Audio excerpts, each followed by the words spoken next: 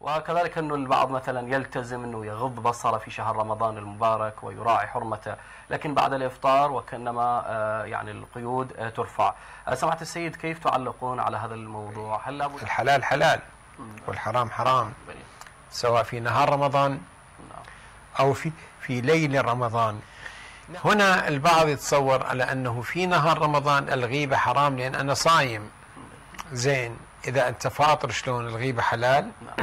سؤال.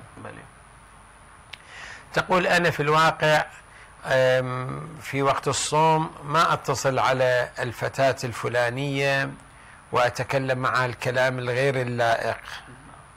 لأني صائم. سؤال. إذا كنت فاطر يجوز لك أن تتكلم مع أعراض الناس ومع نواميس الناس. وتتكلم كلاما غير لائق؟ نعم أحسنت. ما الذي يجوز لك ذلك؟ إذا كان حراما فهو حرام وإذا كان حلالا فهو حلال. أما أنه نحن للأسف الشديد صار عندنا حالة من الازدواجية.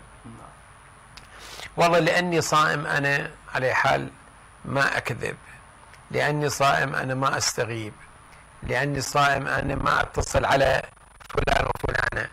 ولكن إذا فاطر فأستغيب وأكذب وما إلى ذلك.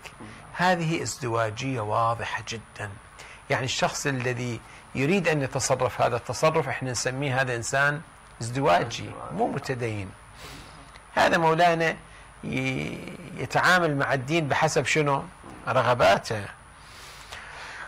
ولا يتعامل مع الدين على أنه على أنه قيم وأحكام وأخلاق وإنما إيش وقت أن يعجبني كذا وايش وقت ما يعجبني كذا وهذا لا يقبل به شرع ولا يقبل به إسلام.